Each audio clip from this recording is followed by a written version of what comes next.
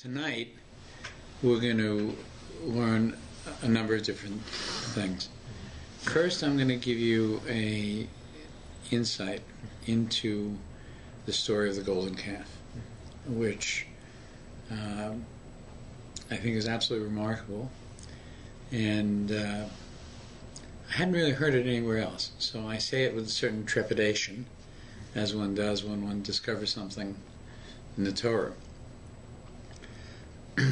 There's a question that has always troubled me about um, this parsha, and by the way, it doesn't trouble just me. It seems that it troubles Korach later as well. And the question is this: Moshe has an older brother, Aaron, who is complicit in the building of a golden calf, an idol. And yet, it seems almost as a result of it, he becomes the Kohen Gadol, high priest. the Mefarshim give two major reasons for his involvement.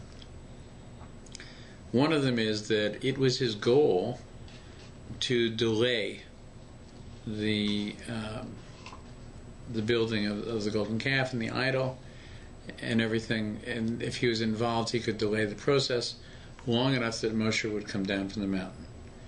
Because he came down on the 40th day, but it was not at the beginning of the 40th day, and there was a question about he should have been down already at the beginning of the 40th day, and that's why they did it. Mm-hmm. Well, although I should say the Gemara has three different times in which it seems that the people began to talk about a replacement for Moshe. Mm-hmm. We should note here they're not talking about a replacement for God. It's a very important thing to understand.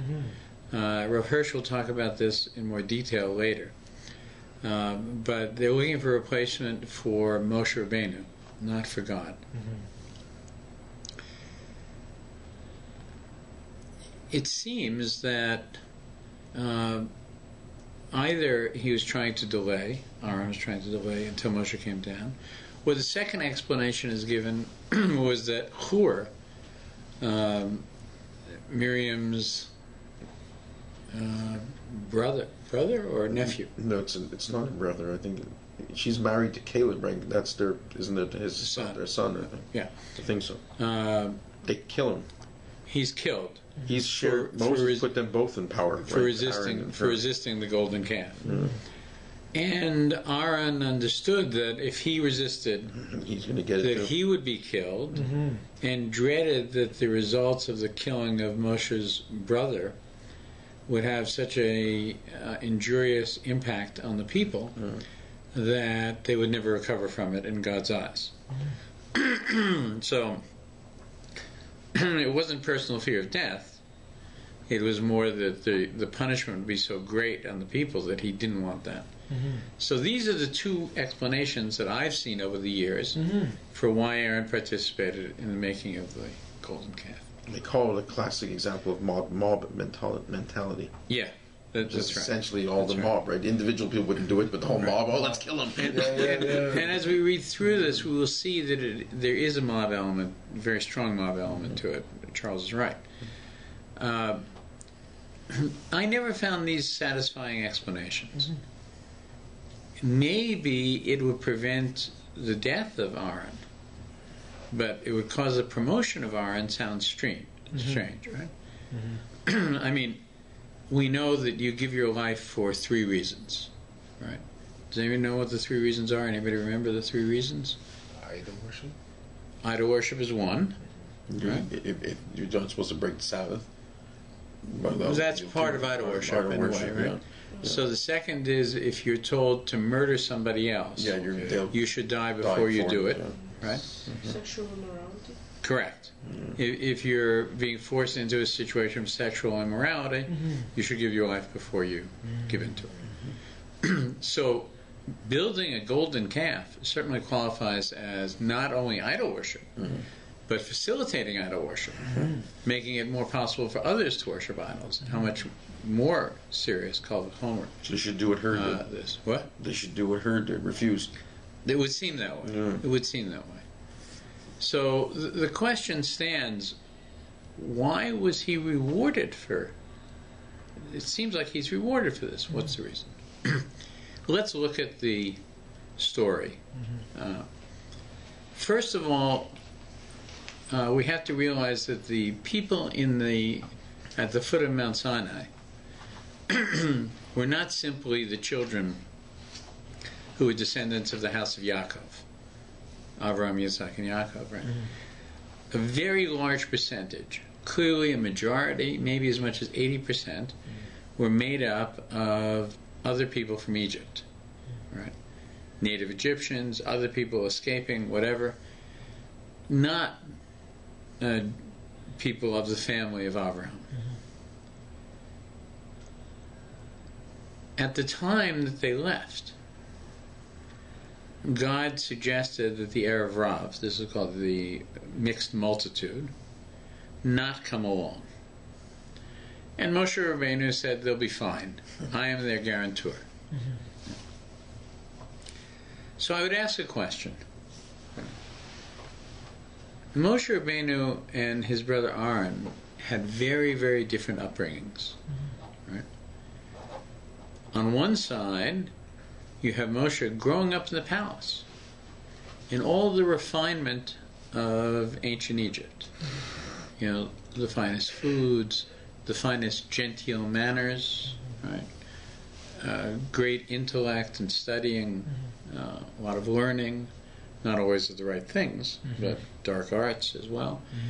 Mm-hmm. Um, but all of the refinements of the ancient world, he grew up in this palace. His older brother was the leader, the son, like Moshe of Amram Yocheved, the leader of the tribe of Levi. Mm-hmm. And as the leader of the tribe of Levi, the spiritual leader of a band of slaves. Uh, He didn't actually participate in slavery, though, right? Because Levites were excluded, right? he, that's right. Levi were, were not slaves in Egypt. They were what's called freemen. They couldn't leave Egypt, but be, for a number of different reasons, because of the priesthood, because they were uh, aggressive about not serving Paro. There's a number of different reasons given why they didn't become slaves, but they were far from free people. Mm-hmm. But he was the spiritual leader of this group, and he, daily he witnessed the most abominable behavior on the part of the taskmasters, on the part of the Egyptians. Mm-hmm. You know, if you are a slave to an individual, it's a lot better off than being a slave to a nation. Mm-hmm. Because you can find favor in your master's eyes. You can mm-hmm. become very valuable to your master. You know, you can be a math teacher to his children. You can have some special skill that is of value to him. You can be very powerful and help him with chores that need to be done. Mm-hmm. But if you're a slave to a nation, nobody cares about you at all. You're just another number, right, that goes out to work every day, and if you don't, you die. Mm-hmm. You don't own your family. You're not a husband. You're not a father. You're not a brother. You're not a sister. You're not a mother. Nothing. Mm-hmm. Nothing. You are a slave. That's it, right? You are a machine, a working machine, and you work until you die. Mm-hmm. That's how it is, and that's how it was in Egypt.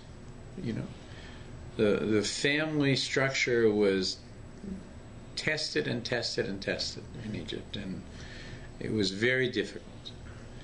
Um, and what Aaron saw was the worst kinds of physical and psychological torment that one could imagine. You know, it says that the cities of Pithom and Ramses were built on um, uh, on quicksand, just to break the spirit of the of the Jews, right? That you know Stalin, uh, in an effort to torture those who objected to his position, would have people on Monday move everything from the north side of the warehouse to the south side, and on Tuesday move it back to the north Yeah, just for the hell of it, just to make them crazy. because useless work is tremendously demeaning. You know, there's a, a very famous and wonderful movie called Bridge on the River Kwai. I don't know if anybody's seen it. Oh yeah, It's worth seeing at some time. It's a very it's Sir an interesting movie, uh, and uh, in it, British prisoners of war are conscripted into building a bridge across the River Kwai for the Japanese, right? And they determine to put their pride into the work they do, right? They're very determined. If they're going to do something, they will do it well. It's a very kind of British stiff upper lip kind of mm-hmm. thing, you know. and uh, not to curry favor with the Japanese, but just to show them how good they were, mm-hmm. even under these conditions. you know. And of course, the bridge is a tactical advantage for the Japanese war machine. Mm-hmm. So a decision is made in Whitehall in England that the bridge has to be destroyed. And so they send, the British send a team. Uh, what's his name? Is Sir Alec Guinness is in it. Alec Guinness plays he's, the Brit. He's, he's He the plays one the British in the camp. in the camp. Yeah. And but who's the name of the American who's in it? He's very famous. He- Is Burt Lancaster, isn't no, it? not Burt Lancaster. Uh, can't Maverick. Oh, oh, James Garner. James Garner. James Yeah. Garner is in it, right? Yeah. Uh, and they come as a special ops team Mm-hmm. to destroy the bridge. Well, the stress that goes on for the for the builders of the bridge is very very painful because they've put so much into it. They don't want the bridge destroyed. At the same time, you know they they should want the enemy to be hurt. Yes. I won't tell you the end. Okay. It's a great movie. But useless work is something that destroys people's minds, not just their bodies. And this was something that Aaron witnessed daily with the uh, with the Jews. So I- I'm I'm explaining something about the um, social history going into uh, the, the story of the golden calf. So Aaron's experience about the the Mitzri was very different than Moshe's was. Yeah. You know, the, Paro saw Moshe as a kind of son. You know, it's, mm-hmm. he was in a very good place. you know. He had schlep, as they say. Mm-hmm. Uh, but in the background, there was always a danger because we know he did a little mistake and he had to leave town. but Moshe has no fear of the palace, by the way, because of this experience. When it's time to leave, and God says to Moshe, "Don't take the Erev Rav," and He says, "I will guarantee. I'm their guarantor. They'll be okay." The mixed multitude. I would ask you, in this argument between God and Moshe Rabbeinu, where do you think Aaron would stand? Hmm. They should bring them, or they shouldn't bring them. Where do, where do you think, with his background and experience with these people? Where Aaron was then? Yeah, No, it's obvious. Aaron would go with God. Say, don't, don't take these people. Yeah, that's right. I would, I would. He's that would be my side. supposition. We don't Yeah. know for sure, Yeah. but I would say that he He'd say, yeah, "You're uh, crazy." I know these people, Yeah, yeah. and they are very dangerous. Yeah. Mm-hmm. You know, the the only reason they're coming with you is not because they're loyal to God, Yeah. but because they understand that our God is stronger than Their- their, God, and they're switching sides. Yeah. That's all it is. It's not a devotion. Mm-hmm. There were some exceptions. For mm-hmm. instance, the mother of Moshe Rabbeinu, Basia, Batya, she was clearly a tzaddikus, right? and she was an exception. This is the first convert. Yeah, uh, but uh, she was well, Sarah really was. Yeah, She that's wasn't right. too. Um, but the uh, but it says she went down to the Nile to convert, actually, to be in a mikveh. That's what she did at that time when she found Moshe Rabbeinu. So you're right. Uh, the uh, so there's Aaron saying to Moshe Rabbeinu, "It's a dangerous idea. Mm-hmm. Take the descendants of, of Avram, Yitzhak, and Yaakov. They're the ones who were enslaved. Take them. Everybody else, you know, listen to what God said. Mm-hmm. Don't do it." But this is what Moshe says, and we see that there's a constant complaining that goes on. So what happens now, right? God summons Moshe to go to the top of the mountain. He's declared the Ten Commandments already, right? And he, he said, go up to the top. so in verse 32 it says, he's supposed to be down in 40 days, right? And this discussion that we see here Some say happened after only about a week and a half. Some say it happened after about three weeks. The majority hold that it happened on the 39th day. Mm-hmm. People saw that Moshe had delayed in descending the mountain, and the people gathered around Aaron and said to him, Rise up and make for us gods that will go before us. For this man, Moshe, who brought us up from the land of Egypt, we do not know what became of him. He's late. The- The mountain is smoking. It's a dangerous place up there. Mm-hmm. You know, there's a good chance he's not coming back. Part it's in 493 Right. and 495. Okay, thank you. Uh, Aaron said to him, Remove the rings of gold that are in your ears and your, your wives and sons and daughters and bring them to me. Right. The entire people removed their gold rings that were in their ears and brought them to Aaron. Now, the Medrash tells us clearly it wasn't the entire people's it was a reference to the men. Okay. The women refused to do this. Mhm. Right? So, uh, one of the um, Farshim says that's why it's not a golden bull. It's a golden calf. They were short on gold because the women didn't give up their gold. So it's the Charlton Heston movie is wrong. Oh, don't look at the movie. That's the, No, there's different midrashim. There's Oh, different okay. midrashim. Uh, yeah, the the actual Charlton Heston movie is actually in many ways very close. Serious? Yeah, it's very close. it's The- fun to watch, but it's, It's not based on halakha. It's based on midrashim that they choose. That's what I, I was thinking. But it's a, a lot of things that happen in don't. That's not. I wouldn't use it as Yeah. a source. Source, mm-hmm. uh, Right. yeah. It's fun to watch. I like it in my home theater. Uh, but it's better than many biblical Yeah. dramas. Yeah. But there, there, we remember we were watching. There's such a, a Christian element to it. It's- Yeah, there's an element of it. Right? Yeah. Now, just as a bit of trivia, I can't help myself here. Yeah. Who plays the voice of God in, in the Ten Commandments? I know the answer to that. You can't answer it. Yeah. Hmm. Anybody know? Charles? Uh, It's Charlton Heston. No. Yeah, it is. It's Cecil, Charlton. Cecil B. B. DeMille. No, no. In, the, about in when that. he's talking to the golden cow, it go to the burning bush. It's Charlton Heston. No. Charlton Heston is Moshe. Yes, I know, but he also plays God. Because I, I thought it was also Cecil B. DeMille, but I it, I used to think that too. But if the IMDb, I believe, says that it was him, they just slowed his voice down a little bit. That they, they, he's talking to himself. The bio that I saw, it's Yeah. be interesting if it Yeah, was, yeah, actually. yeah. But No, I'll, I'll check again okay. tonight on IMDb. Okay. But the last time I Okay. checked, remember was Okay. was him. Rumor has it Yeah, it was Cecil B. DeMille, the executive producer, Yeah, a who usually likes to play God in any movie. yeah. Um, but it may be Charlton Heston. I don't know. That's what Charles said. So we'll find out. It's possible it was Cecil B. Could be. DeMille, but I I remember this in the rating that they. There's two opinions on this, right? One opinion is Cecil B. Yeah, yeah. Because IMDb, I think, So- says that. I have to Right. check. I have Okay. to check again to make sure. Uh, so, uh,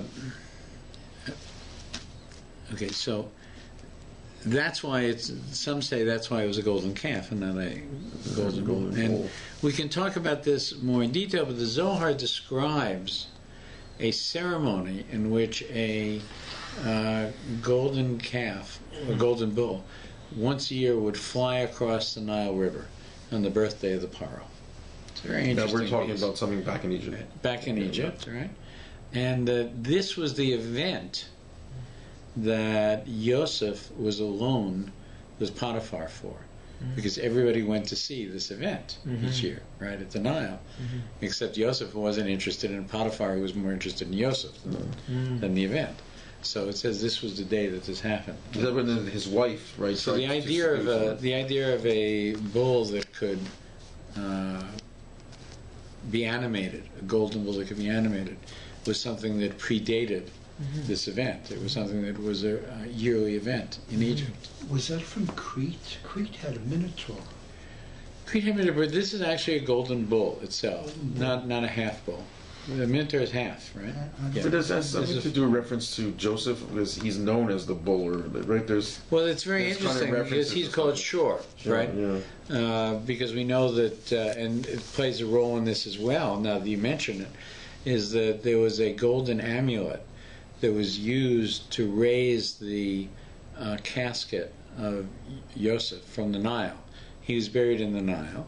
It was a segula for the Nile, a, a, um, a, a sign for the Nile that it should flood, mm-hmm. that Yosef would be there. It would be good for the mm-hmm. Egyptian people. When it came time to leave, the question is how to make it leave, how to find it. And the? Torah says that they took his bones out. And yeah, So how did there's they a get it? function. Mm-hmm. So Sarah, who was the a daughter of um, which tribe? It'll come to me in a second. Okay, Just be patient with me. Uh, who was the?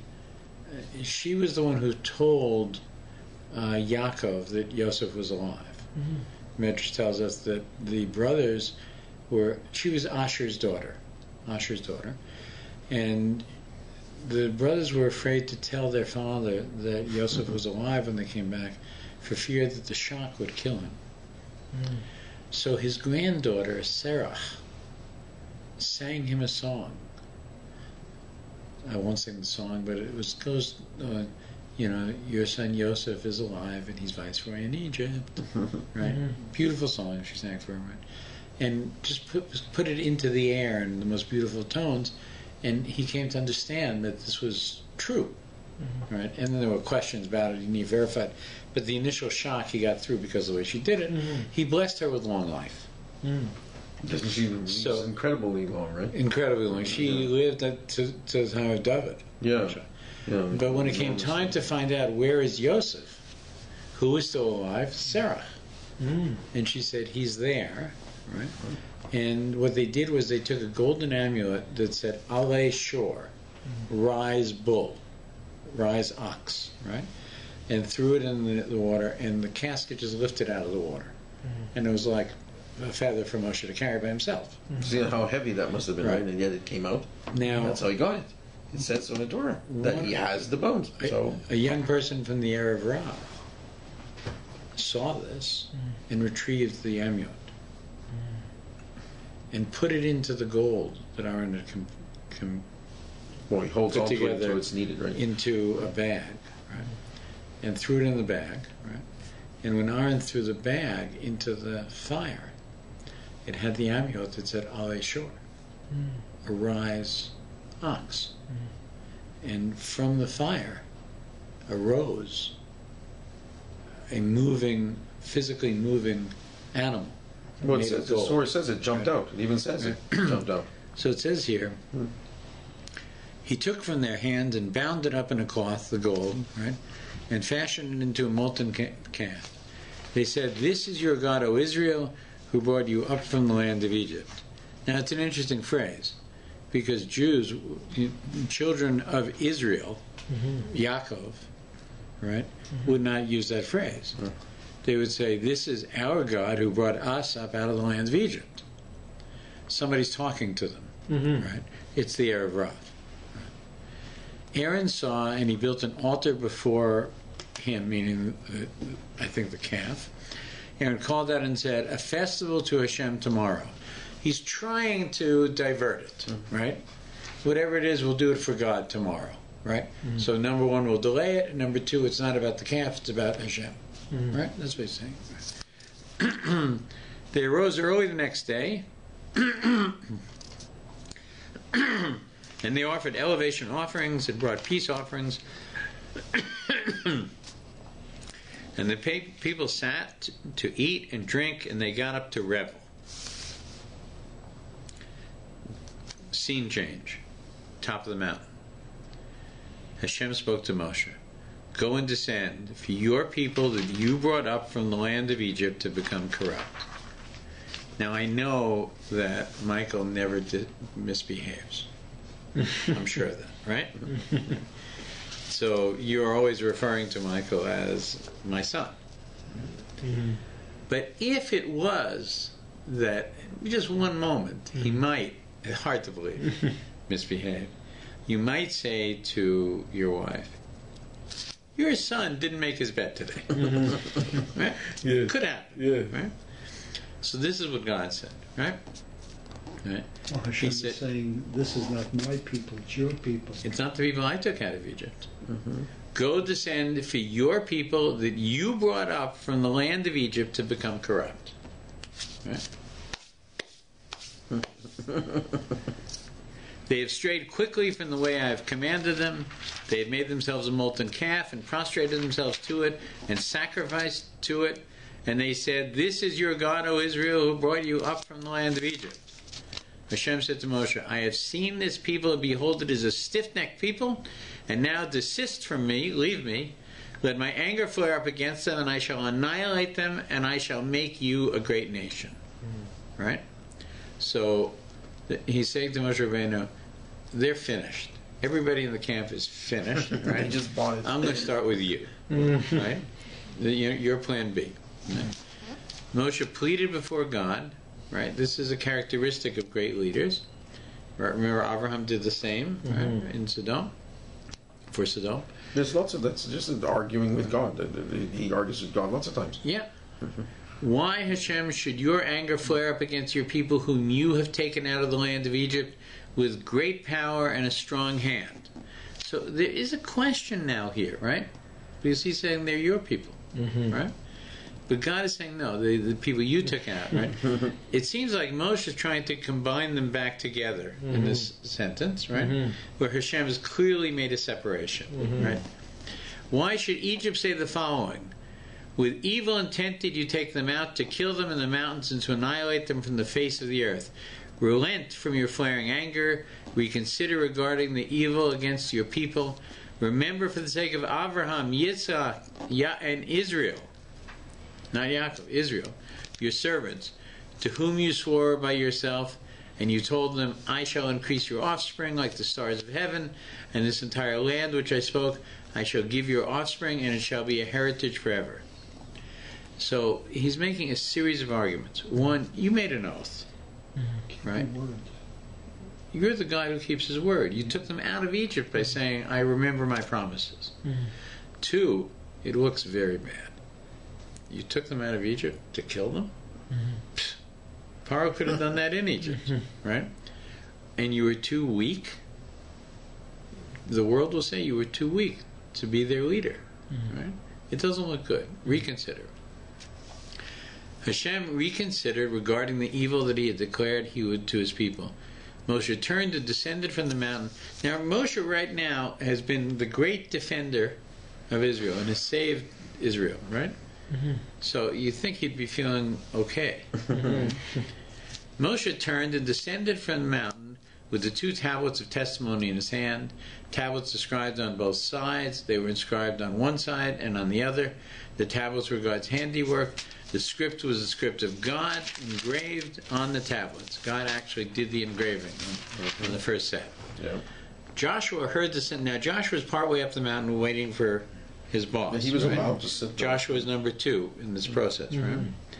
He is the aide de camp, so to speak. Of the, He must have the- brought like si- significant provisions when because he was up there for 40 days. So he must have. Mm-hmm. I don't know. Maybe he didn't need the other. I'm not sure. Yeah. I'm not sure. Because they say that Moses is fed by God or maintained by God, right? But but just just just Joshua. It's an interesting must, question. Must have brought sufficient provisions for mm-hmm. himself. Joshua heard the sound of the people in its shouting, and he said to Moshe, "The sound of battle is in the camp." Mm-hmm. Joshua was a soldier. Remember this? Mm-hmm. right? Sounds of battles in the camp. Mm. He said, meaning Moshe said, "Not a sound of shouting strength, or a sound shouting weakness. A sound of distress do I hear." It happened as he drew near the camp and saw the calf and the dances mm-hmm. that Moshe's anger flared up. Right? Now Moshe's the one who's angry, not God. Right? That's right.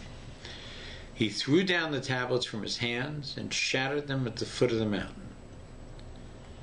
He says there's an idea that under the wedding canopy, if you were to, to take another partner, how awful it would be to do it after you've signed your ketubah. And the tablets were the ketubah of the people, right? So mm. better they should be destroyed than they be the bris that binds them to God. Hmm. And they've already, you know, had this misconduct underneath the, the wedding canopy with God. Yeah. Wow. It happened as he drew near the camp and saw the calf and the dancers, Moshe's anger flared up. He threw down the tablets from his hands and shattered them at the foot of the mountain.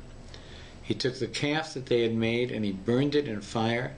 He ground it into a fine powder and sprinkled it over the water, and he made the children of Israel drink. This is clearly a reminder of the sota coming later, uh, which we'll just keep it in mind for the future. Okay. Now Moshe turns to his brother at this point, and he says, Moshe said to Aaron, What did this people do to you that you brought a grievous sin upon it? I left you in charge. Mm-hmm. What did they do to you that you would allow this to happen? Mm-hmm. How could you allow this to happen? Did they anger you so much that you allowed them to do this? Aaron said, Let not my, my master's anger flare up, for you know the people is disposed towards evil. They said to me, Make us a God that will go before us, for this man Moshe, who brought us up from the land of Egypt, we do not know what became of him. So I said to him, Who has gold? To them, Who has gold? They removed it and gave it to me. I threw it in the fire, and the calf emerged. See, it jumped out. Right. He didn't form it. Now, here is the key sentence. Okay? Let me read the sentence to you. Um, Vayare Moshe, Esa'am ki perua hu ki perua achara, acharon,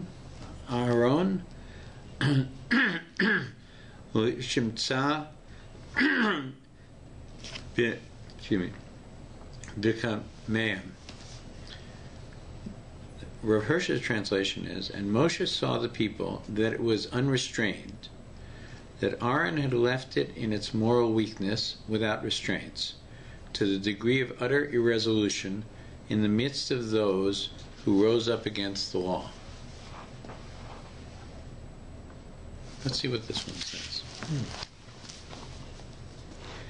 Moshe saw the people that it was exposed, for Aaron had exposed them to disgrace among those who rise up against them. Same sentence. Mm-hmm. Does it strike anybody that this sentence doesn't make any sense at all? Yeah. Mm-hmm. It's kind of a very strange phrase. Mhm. And in here is a very important word, right? If you look at your Chumash, right, you'll see a word, it's used twice. In the bottom line, ha'am ki perua, hu ki perua. See those two words? Now look at those words without vowels and tell me if they might be another word. You're talking the first three letters, ki, perua. So hayon is H, chay, yad, im is um, uh, sema, the mem suffix. Just, just look at the third word itself, right? Look at the third word itself. And imagine you could put any vowels in there you wanted to.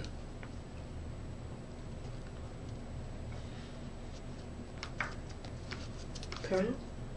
What? Pharaoh, paro. You're right. Right. So because we have vowels, we read this ki perua hu ki perua. Let's say pharaoh. But if you look in the Sefer uh, uh, Shmois, Mhm. in Sefer Torah, it doesn't say that. Right. We have a tradition that this is Peru, right? But maybe it means paro, paroized, so to speak. So let me try reading it to you again. Moshe saw the people that it was Pharaohized, for Aaron had exposed their Pharaohiz- Pharaohization to disgrace among those who rise up against them. And now look at Moshe's re- reaction. Right? That's a different opinion. Remember, moments ago, Moshe was very angry with Aaron and defensive about the people. What did they do to you that you would behave in such a way? Mm-hmm. Aaron has this one statement, you know, about Perua, right? and suddenly Moshe stood at the gateway of the camp and said, Whoever is for Hashem, join me. And all the Levites gathered around him, and he said to them, So said Hashem, the God of Israel, every man put on his sword on his thigh, and pass back and forth from the gate to gate in the camp. Let every man kill his brother, every man his fellow, every man his near one. Huh? Hmm. And the Levites did so. Right? So something changed mm-hmm. at the moment this term is used. Mm-hmm. Now, here's what I would suggest. Pharaohized. What does that mean? Fifth column. Fifth column. Let's go back to the camp again, right? And let's look at these two men, Aaron and Moshe Rabbeinu. Mm-hmm. right?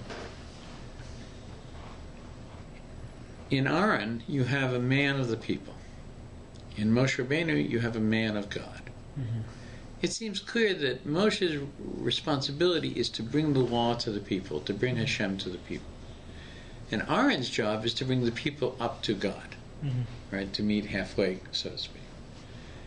And we know that Aaron was somebody he's described. How is he described? Does anybody remember what his quality is? He's a man of peace. peacemaker. Man of peace who pursued peace, right? And the example, it's one of the examples that is often given about the fact that truth sometimes can be uh, su- submissive to peacemaking. That it's a, famous medrash that Aaron would come to Reuben and Shimon, and they were fighting with each other, unpleasant to each other. And he would go to Shimon and say, "You know, I bumped into Reuben today, and I have to tell you, he feels very bad about how things are going between the two of you. Mm-hmm. You used to be friends, work together. He still cares about you a great deal. Mm-hmm. Could you see it? Like to sit with him and maybe I'll sit with you as well and we can work things out. Mm-hmm. Hmm? Now he made all of it up. He hadn't seen it. and so Shimon says yes. So now he goes back to Reuben and says, you know, I was just talking to, to Shimon and tell you, he feels that this is not the way it should be between the two of you, and he's willing, he's offered to be the one to come and sit with you. Mm-hmm. And we can work all this out. And I'll be with you too. right? Mm-hmm. And through this process, he would make peace between business partner, business partner, between mm-hmm. brother and brother, between even husband and wife. Right? He was a peacemaker. He would go through the camp, settling arguments between people. Moshe Rabbeinu was the lawgiver, right? And he was not, in a way, empowered to even be lenient, mm-hmm. even if he wanted to be. He was a direct channel for the Word of God. Mm-hmm. So he couldn't interpret. He just had to stay. And we see when he's not clear, he doesn't think of an answer. He goes, "Excuse me," and he goes and asks God, comes back. Mm-hmm. He always has an open channel to God, unlike other prophets. He's always on call, and God seems to always be on call for him as well. So Aaron, it seems like, is much more man of the people. Hmm. And we know that when Aaron and Moshe died, that the people mourned much more intensely and for a longer time for Aaron than they did for Moshe Rabbeinu. Mm-hmm. So let's look at this one more time with all this in mind. They're leaving Egypt. Right? Moshe has this tremendous faith in everybody. Mm-hmm. Anybody who wants to join the team is welcome to, whether mm-hmm. they're children of Yaakov or not. Aaron is very skeptical. Mm-hmm. Don't do it. God said don't do it. I'm telling you, don't do it. Mm-hmm. Right? They find themselves over and over and over challenged. There were no graves in Egypt. You had to bring us here to die, right? There's no food. We want meat. You know, it's always complaining, complaining, complaining. right? And it's coming from one source, also. So Aharon is aware that within the camp there is a cancer growing. Mm-hmm. And that the people keep saying they want to return to Egypt. Mm-hmm. And Paro is waiting for them to come home. you know? He's got plans for them when they come back. No mm-hmm. question about it. There are necromancers, there are magicians, mm-hmm. there are courtiers of Paro that are among this group of people. Mm-hmm. Bilam's son is in this crowd. Hmm. Aaron knows it and feels that they are not on side, that really they're there to poison and to destroy the venture. Mm-hmm. But how does he tell his brother? How does he convince his brother, who is an idealistic person and feels it's going to go well? I would venture to say that Aaron made a decision because he really is the perfect internal security officer there could be. Mm-hmm. He knows what goes on in every tent. He knows every problem, every argument, every solution. He is the ear of the nation. Mm-hmm. I would venture to say that Aaron knew better than anybody how dangerous the Erev Rav was and what a potential problem it would be. And he made a concrete decision to sacrifice his own life in this world and in the world to come. Much greater sacrifice. By the way, we've just come out of Purim, where we saw a similar sacrifice by Esther, mm-hmm. where she sacrificed her position in the world to come in order to save the Jewish people, no mm-hmm. benefit to herself. And so I would say it is here too. That Aaron really does play the agent provocateur. He allows this to happen because if Moshe Rabbeinu doesn't see it now, mm-hmm. everything, the whole venture could go down the tubes. And he knows it. And so he's willing to give up everything to build an idol that his brother will see what he and God both knew. Just to prove That there's a very big percentage of, of the camp mm-hmm.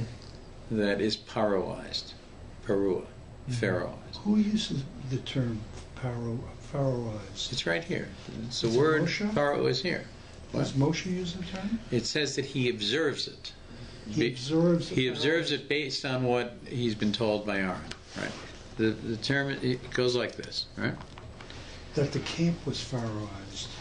No, you think No. that this group of That, that some people. That some. He's, But he, some people. th- Aaron these says- pains, these Let people who Aaron, cause a lot of Aaron answers, "Let not my master's anger f- flare up. You know that the people is disposed towards evil. The Am. They said to me, uh, this is opposed to Bnei Yaakov. It's the Am, which is the people, supposed to the children of Yaakov. They said to me, Make us a god that will go before us. For this man Moshe brought us up out of the land. We do not know what became of him. So I said to them, Who has gold? They removed removed it and gave it to me. I threw it into the fire, and this calf emerged. Then it says, Moshe saw, as a result of this, remember, he was a defender of the people the previous sentence. He was blaming Aaron. Moshe saw the, pe- saw the people that it was Perua, right? Exposed or unrestrained, or two, two different translations. there. Right. It's too much. For, for Aaron, right, Pure. for Aaron had exposed them uh, to disgrace among those who rise up against them. The sentence, every time you read a different Chumash, you'll see a different translation for it. Nobody knows what it means. Nobody has a translation for it, right? But the word is paro. Pei resh ayin. Pei resh ayin. It's paro. It's clear, right? Because the people are paro. because of the At, mitzvot, so they are. at that moment, because of what Aaron said, he has this realization, and that's when he says, "Those who are with God stand by me." Mhm. Right? At that moment, he does a complete 180. doesn't blame his brother anymore. He blames the people. There's another curious thing. group. Throwing the gold into the boiling pot and out comes a calf. Yeah. Is that magic? Yeah, Well, we discussed that. Yes, that was magic. Yeah. That was that was because of. By the way, it happens. Ironically, it happens at one other time. Mm-hmm. Does anybody know the other time it happens? For what? That gold is thrown into a Oh, the menorah. Yeah. That's right. Menorah mm. When Moshe didn't know how to make the menorah, pops out. right? So God said, "You put it in the fire, and the mm. menorah will come out." Yeah. So did the calf come out Yeah. because Hashem wanted to? No, No, the calf there's came a- out. there's Well, amulets. This is a whole other argument. What Yeah. Hashem wants and doesn't want. I don't, I don't want to read God's mind. I'm not qualified to. But the Me- Medrash tells us that uh, inserted into the sack of gold was the amulet Ale Shor, rise up ox, right?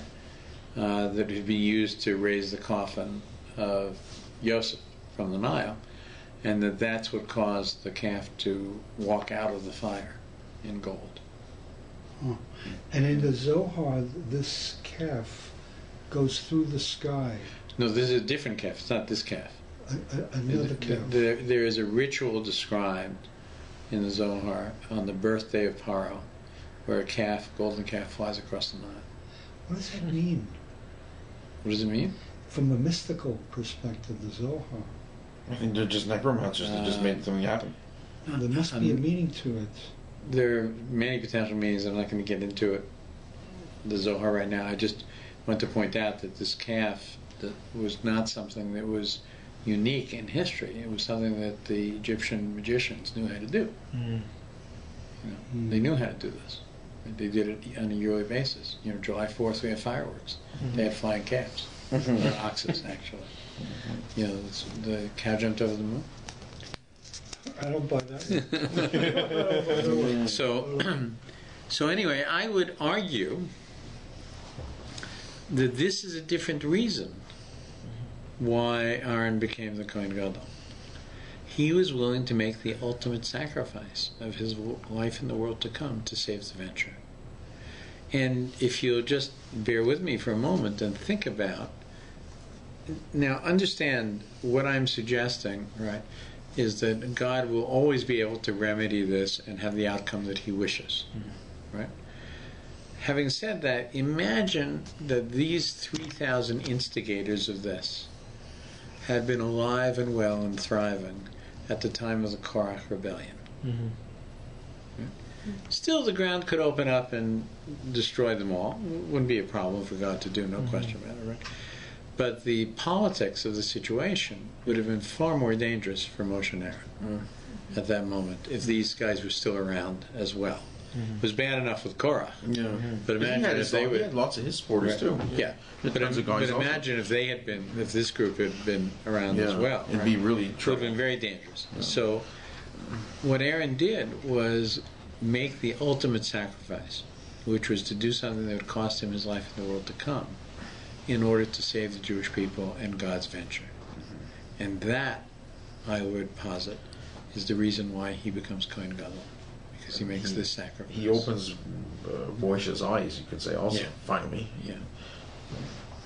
So that's a little bit of thought, uh, a rare uh, original thought from myself. I have to give credit to the Zohar on this, and I have to give credit to my friend Simcha Jacobovici. We researched this together years ago, and this word Perua. You know, every time I read it, by the way, uh, in a new Chumash, there's another translation from it. it's, it's bizarre Yeah. because nobody really can get their noodle around it.